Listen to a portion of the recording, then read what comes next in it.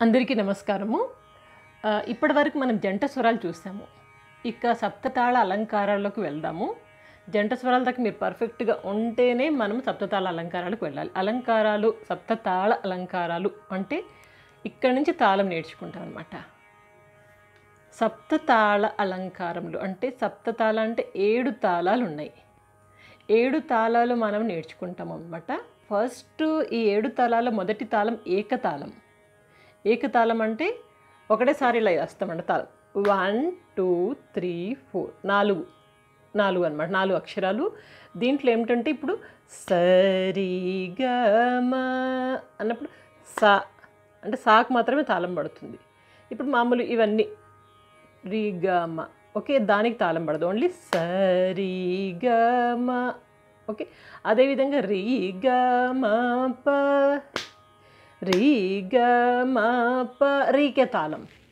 ముందు తాళం ఎలా వేస్తారో నేర్చుకోండి. ఇక్కడ మనకి మూడు తీగలు ఉంటాయండి కనబడుతుందా మీకు? మూడు తీగలు ఉంటాయి ఈ తీగల్ని తాళం అంటారు.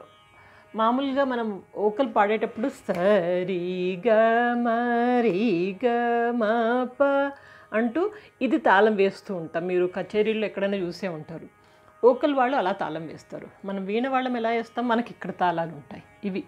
ఈ చిటికన వేళ్ళతోటి ఇలా అంటూ ఉంటాం. ఇది తాళం అనమాట ఓకే? ఇప్పుడు చూడండి తాళం ఎలా వేస్తామంటే తాళం ఎప్పుడు వేయాలనుకున్నా కానీ చూపుడు వేలు అండ్ చిటికన వేలు ఈ ఇలా వేస్తామన్నమాట. ఇలా.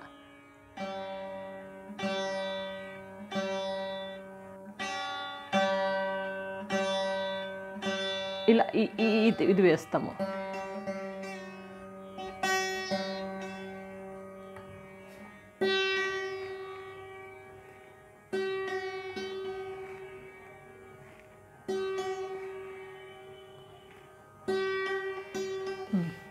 సో ఇది తాళం అనమాట ఇప్పుడు ఎప్పుడు తాళం వేయాలన్నా ఇది. ఈ ఫింగర్ ఇక్కడే ఉంటుంది. ఓకే? ఇక్కడే ఉంటుంది. ఇప్పుడు కేవలం మనం చూపుడు వేలు అండ్ చిటికిన వేలుతోటి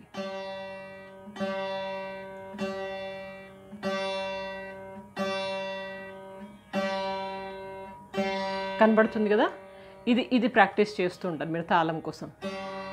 సా సా సా సా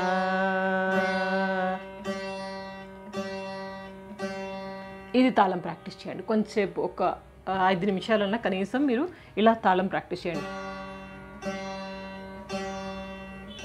ఓకే?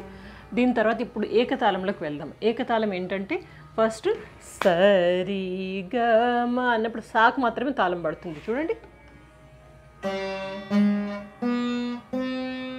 ఇప్పుడు తాళం ఎక్కడొచ్చింది? ఓన్లీ సాకే. రీగమ నార్మల్. ఓకే? మళ్ళీ చూడండి. అయిపోయిందా? తర్వాత నెక్స్ట్ రీగమ ప. నాలుగు నాలుగు అక్షరాలు తీసుకుంటాము. నాలుగు నాలుగు అక్షరాలు. ప్రతి అక్షరానికి మనం తాళం వేస్తున్నాము. చూడండి. సరి సరి గమ రీగమకు తాళం లేదు. అదేవిధంగా ఇప్పుడు నెక్స్ట్ రీ గ మా ప ఓన్లీ రీకే తాళం వేస్తాము. నెక్స్ట్ గ పద గాకే తాళం వేస్తాం కదా.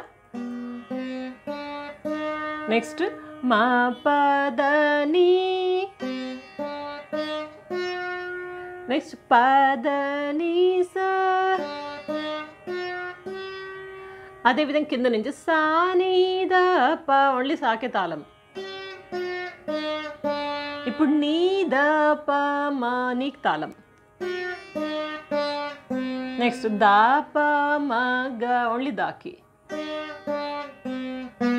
నెక్స్ట్ ప మ గ రి మ గ రి స ఓకే తాళం చాలా ఇంపార్టెంట్ మనకి వాయించేటప్పుడు. ఇక తాళం మీద గ్రిప్ వస్తే కనుక ముందు ముందుగా తాళం ఆలాపన ఇవన్నిట్లో ఇంకా బాగుంటుంది తాళం. సో కాబట్టి మనం మొదటి నుంచి అలవాటు చేసుకోవాలి. ఇప్పుడు చూడండి ఏకతాళం అంటారు ఇప్పుడు మనం నేర్చుకునేది ఏకతాళం. ఏకతాళంలో ఏంటి? సరిగమ రిగమప్ప గమప్పద అంటూ నాలుగు నాలుగు లెటర్లు వేస్తున్నాము. కానీ ఫస్ట్ లెటర్ మాత్రమే తాళం వేస్తున్నాము. ఓకేనా? చూడండి. సరి గ రి గ ప మా పదని పదని స ని ద పని ని ద ప ద ప మ గ ప మ మగరి స మళ్ళీ చూడండి.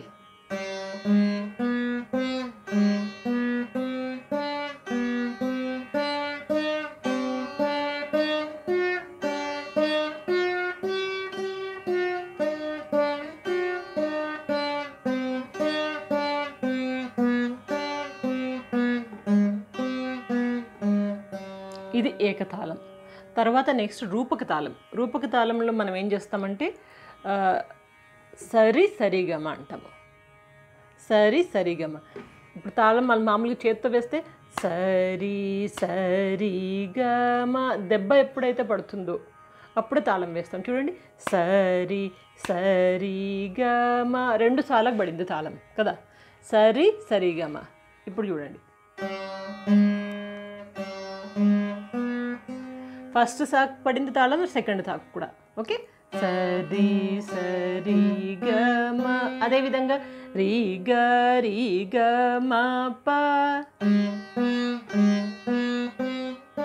నెక్స్ట్ గ మ గ మ ప ద. ఇప్పుడు గా రెండు గాలకు తాళం పడుతుంది చూడండి.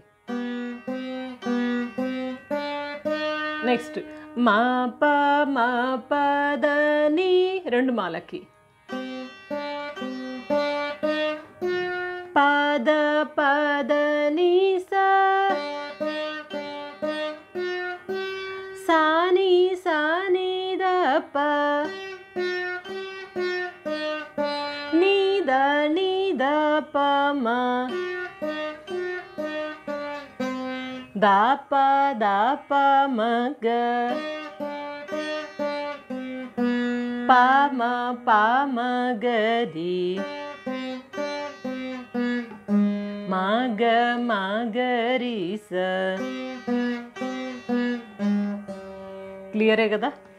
కాలు పట్టుకుపోయి చాలాసేపు నుంచి కూర్చున్నాను. సో ఇది ఏంటంటే సరి సరిగమ రిగ రిగమప్ప. ఒకసారి నేను పాడుతూ వాయిస్తాను చూడండి. సరి సరిగమ రిగ రిగమ గమ గమ పద మా ప మా పదని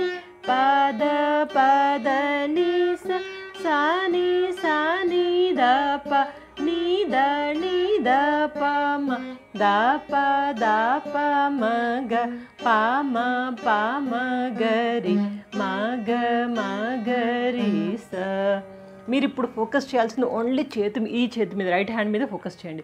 తాళం ఎలా వేస్తున్నాను ఎక్కడ వేస్తున్నాను? ఓన్లీ పాడకుండా వాయిస్తాను చూడండి.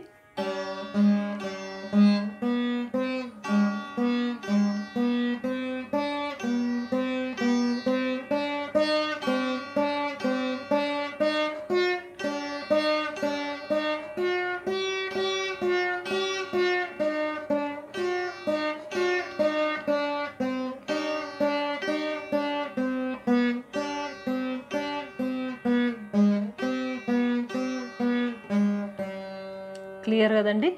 ఈరోజు మనం ఏం నేర్చుకున్నాం? ఏకతాళం రూపక తాళం ఏకతాళం అంటే సరి గ మ గ మ ప గ మా పద మా పదని ని అంటే ఫస్ట్ లీటర్కి మాత్రమే తాళం వస్తుంది. నెక్స్ట్ రూపక తాళం రూపక తాళం అంటే సరి సరి గమ సరి సరి గమ రి గ రి గ ప ఇప్పుడు సరి సరి గమ. అంటే ఫస్ట్ సా సెకండ్ సాకు వస్తుంది. దెబ్బ ఎక్కడ పడిందో అక్కడే వస్తుంది ఓకే? అదేవిధంగా రి ఆ, గ మ గ మ పద మ ప మ పద ని. క్లియరే కదా? ఈ రెండు తాళాలు నేర్చుకున్నాం.